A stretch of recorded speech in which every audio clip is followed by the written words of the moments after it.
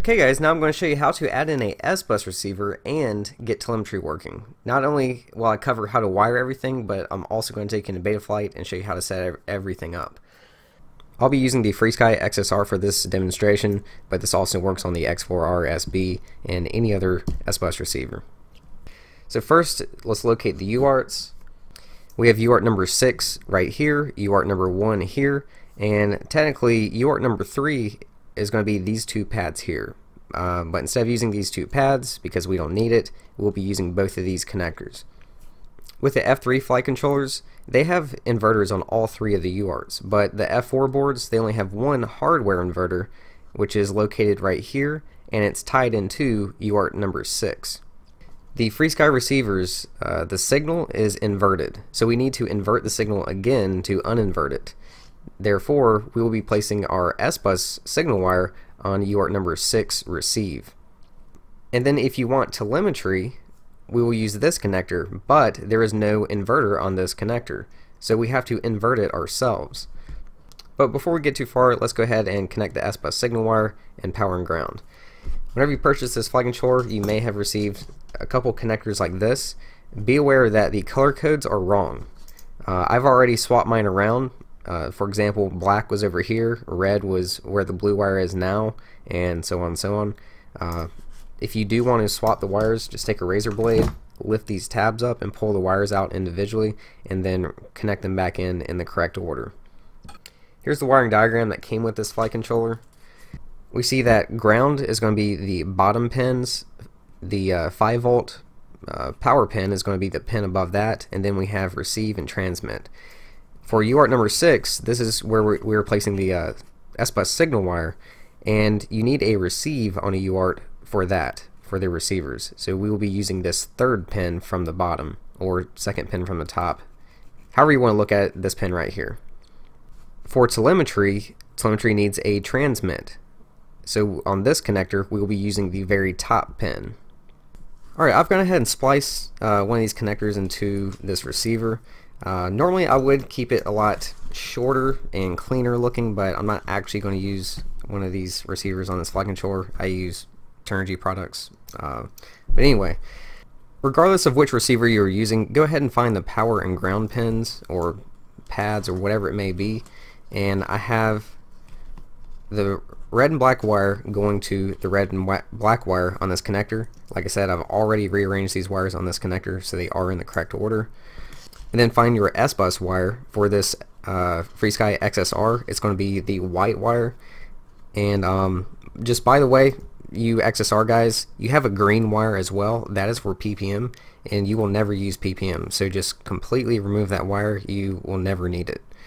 Um, now for everyone else, like I said, find your S-Bus wire, and I place my S-Bus wire on this blue pin. So now we've got ground, power, and S-Bus. The fourth wire, if we plug it into this connector, like I said, that is going to be UART number 6, transmit. But UART ports can only do one thing at a time, and that is why we cannot put telemetry on this transmit pin. Telemetry does need a transmit pin, but you, like I said, the UART can only do one thing at a time, and we're using this one for the receiver. Now let's talk about telemetry. Because we need to connect telemetry to this connector, uh, and this connector does not have a hardware inverter. We have to invert it ourselves. If you do have a FrSky XSR, if you look on the back side, there's a little SMD right here and you want to solder a wire to the pin on the back side of it. There's one pin by itself. On the other side there's two pins, but we want the one on the back side, so solder wire directly to that. If you have a X4RSB, I'll flash a picture on your screen of what it looks like.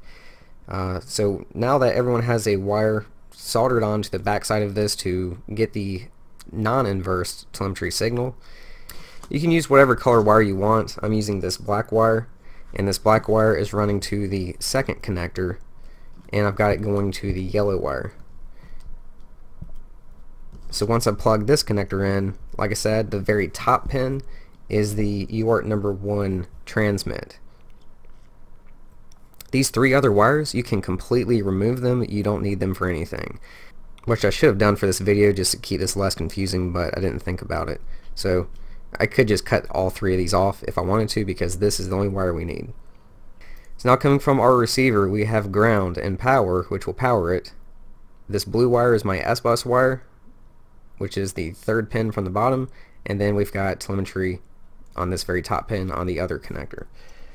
If we plug in a USB cable to the flight controller, that will uh, provide 5 volts to all the 5 volt power pins, which will power this receiver, but we need to bind it.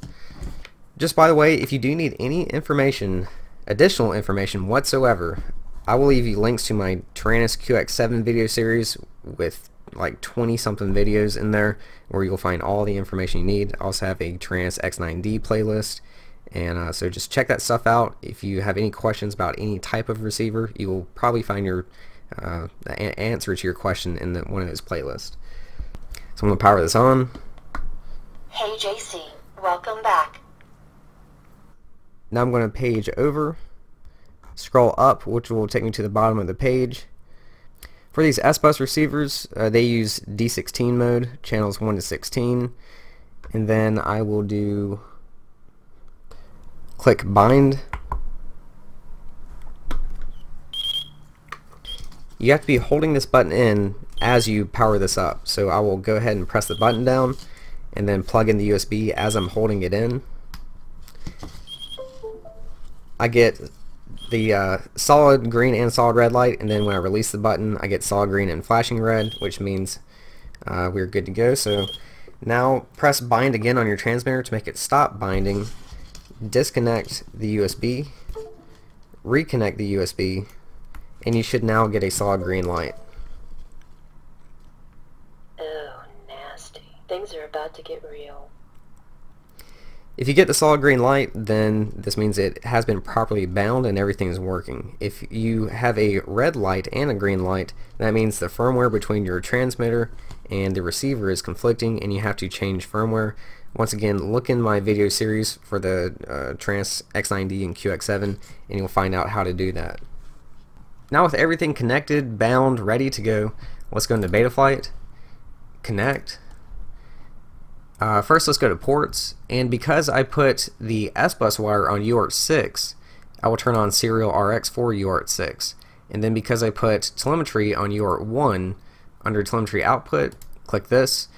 Um, these the X series of FrSky receivers, uh, like I said, I don't know about you Spektrum guys, but uh, it's not FrSky telemetry. It's actually smart port. So select smart port if you are using a S-Bus receiver, and then save and reboot. And then reconnect. Let's go to configuration. Choose serial-based receiver, and then S-Bus. Save and reboot again reconnect, go to the receiver tab, move your joysticks around, roll pitch yaw into throttle should be moving on your screen, and if you have created any switches, you can test those out now. If they are not working, then uh, either you wired something in wrong, you selected the incorrect UART port, the receiver is not properly bound, or the other thing is going to be, uh, at the time of recording this video, the newest version of firmware, uh, which by the way, this flight controller does use the Omnibus F4 firmware, and the newest one is 3.1.7. The hardware inverter does not work with 3.1.7. at least the last time I checked, when I did the DYS F4 flight controller video series, it was not working. I have not tested it, so it might be working now. I'm just saying uh, I am using 3.1.6 and it's working for me. So you might want to go with 3.1.6 until there is a newer version of firmware. Uh, so if you are watching this video at a later date in the future and there is something newer than 0.7, then they probably have fixed the problem by then.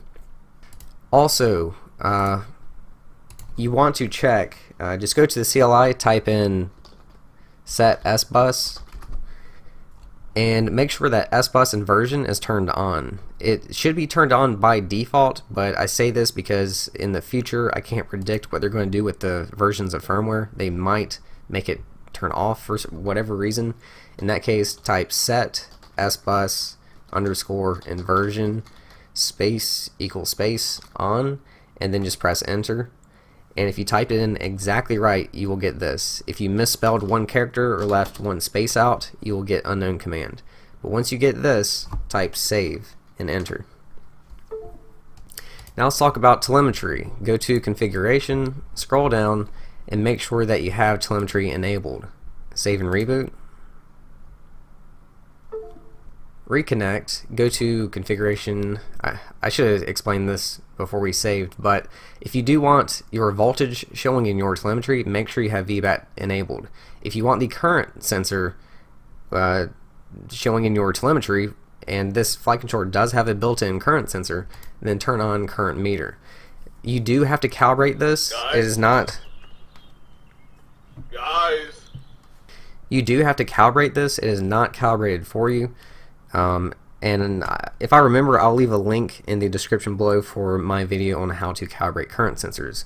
I'll also leave a video on how to calibrate voltage sensors, but the voltage sensor actually is uh, almost perfectly calibrated, so you shouldn't have to change that one.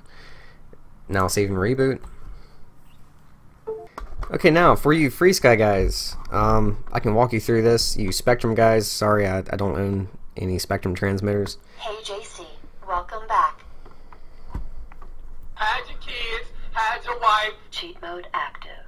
So press the uh, menu button, go to your model, hold down the page button, hold it down again to go to the telemetry screen, and you want to scroll down to discover new sensors. Press enter, and there is your telemetry sensors. Press again to stop discovery. Now, if you scroll up, we see current as well as the other telemetry sensors but VFAS, which is our voltage, is not showing up. If you want VFAS to show up, you have to have a battery plugged into your flight controller. Uh, so go ahead and solder on your XT60 connector and battery leads and uh, plug in that battery and then discover new sensors again and VFAS will show up. And that does it guys, so I hope you enjoyed this. Thanks for watching. I'll see you again soon.